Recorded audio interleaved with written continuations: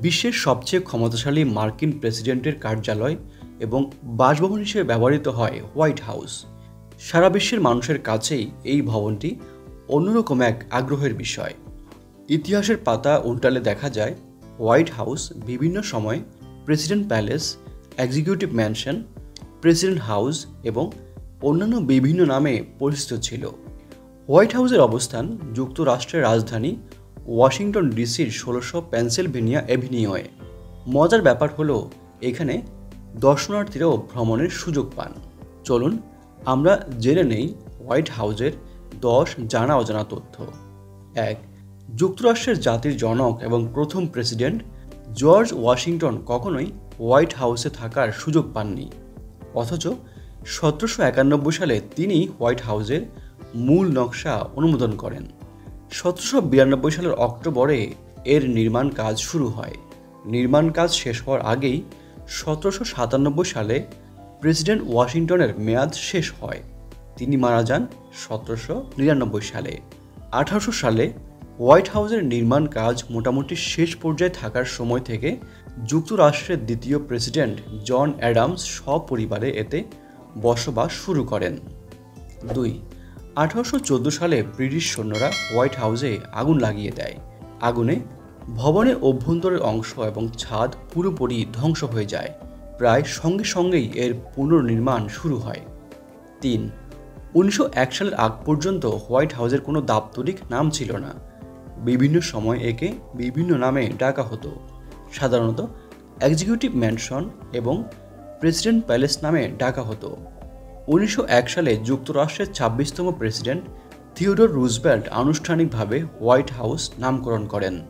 চার, president Harry S Truman white হাউসের নাম দিয়েছিলেন ঝলমলে বন্দিশালা। আরেক প্রেসিডেন্ট রোনাল্ড রিগান এই ভবনকে আট তারকা হোটেলের সঙ্গে তুলনা করেছিলেন। পাঁচ, হোয়াইট হাউসের প্রধান বাসিন্দা মার্কিন প্রেসিডেন্ট এবং তার পরিবার। কিন্তু মজার ব্যাপার হলো তারা এখানে বিনামূল্যে খাবার পান না। তাদের খাবারের বিল মাস শেষে পাঠিয়ে দেওয়া হয়। এমনকি টুথপেস্ট কেনা, কাপড় ইস্ত্রি করা ইত্যাদির খরচও নিজেদের বহন করতে হয়। ছয়, নারীদের ভোটাধিকারের দাবিতে উনিশশো সতেরো সালের জানুয়ারিতে একদল নারী হোয়াইট হাউসের সামনে বিক্ষোভ শুরু করে। তারা টানা দুই বছর সেখানে অবস্থান করে। অবশেষে উনিশশো উনিশ সালের চার জুন যুক্তরাষ্ট্র প্রশাসন নারীদের ভোটাধিকার দেয়। সাত হোয়াইট হাউস নিয়ে কিছু ভৌতিক কাহিনী প্রচলিত রয়েছে। বলা হয়, ব্রিটিশ প্রধানমন্ত্রী উইনস্টন চার্চিল একবার হোয়াইট হাউসের লিঙ্কন বেডরুমে সাবেক মার্কিন প্রেসিডেন্ট আব্রাহাম লিঙ্কনের নগ্ন ভূত দেখতে পেয়েছিলেন।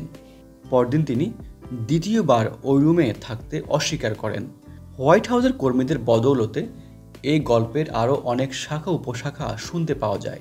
আট হোয়াইট হাউস রং করতে পাঁচশো সত্তর গ্যালন সাদা রং ব্যবহার করা হয়। নয়, হোয়াইট হাউসে তিন হাজারেরও বেশি মানুষ পূর্ণকালীন চাকরি করেন। দশ, হোয়াইট হাউস নির্মাণের সে সময় ব্যয় হয়েছিল দুই লাখ বত্রিশ হাজার তিনশো বাহাত্তর ডলার আর বর্তমানে এই ভবনের মূল্য দাঁড়াবে তিনশো উননব্বই মিলিয়ন ডলার, বাংলায় প্রায় তিন হাজার কোটি টাকা। হোয়াইট হাউসের নানা জানা অজানা তথ্য নিয়ে সাজানো আজকের ভিডিওটি আমরা এখানেই শেষ করছি। এই ধরনের ভিডিও আরও দেখার জন্য আমাদের এই চ্যানেলটি সাবস্ক্রাইব করার জন্য আপনাদের প্রতি বিশেষভাবে অনুরোধ করছি। আপনারা যেখানেই থাকবেন, অনেক ভালো থাকবেন। ধন্যবাদ।